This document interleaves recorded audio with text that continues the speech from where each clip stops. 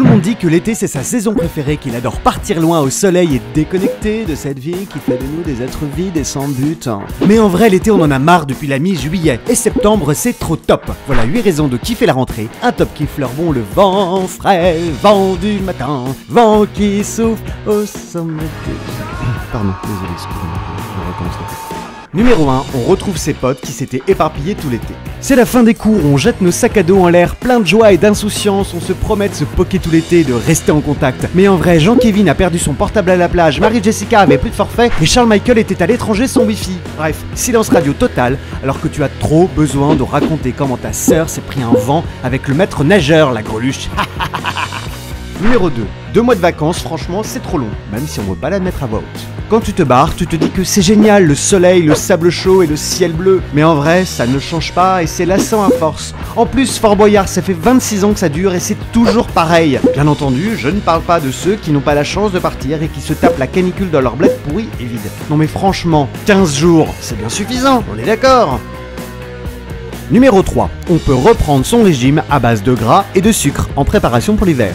Dès le mois de février, tous les magazines féminins et masculins, parce que ça y est, la presse masculine est aussi devenue body nazi, t'enjoignent à perdre ton gras en vue d'avoir le beach body ultime. Et nous, on est trop cons et on tombe dans le panneau à base de salade de mâche, de quinoa complet, de concombre nature, alors que dès que t'as plus à te foutre à poil devant tout le monde, tu peux assumer ton alimentation de merde et l'absence de légumes verts. En plus, le retour de la mode XXL tombe à pic.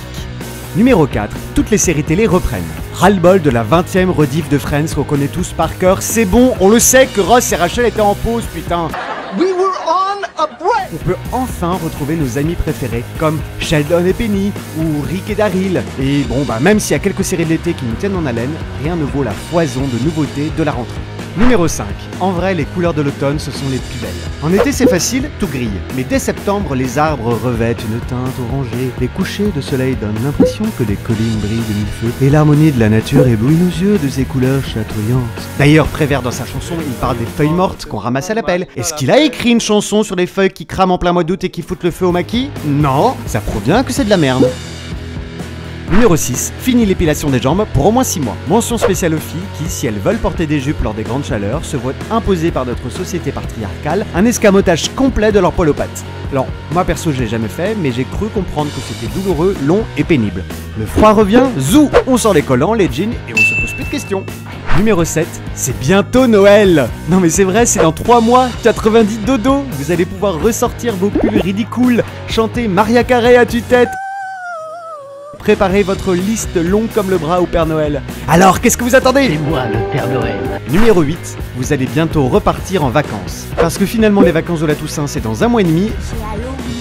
Pas filer trop vite, hein, foulala, ma bonne dame, on va plus le temps passer, dis donc. Et puis, si vous êtes au bureau et malin comme moi, il vous reste plein de jours à prendre. Et vous profiterez de la déprime de novembre pour vous barrer loin et au chaud pendant que vos collègues font la gueule. Voilà, on espère vous avoir convaincu que la rentrée c'est top. Laissez-nous des commentaires pour nous dire ce que vous aimez pendant cette période. Et puis surtout, abonnez-vous pour pas louper une seule de nos vidéos. On en sort 3 par semaine. Et elles sont toutes géniales. Si, si, croyez-moi, c'est vous qui nous le dites. Merci pour votre fidélité et à très vite sur Topito.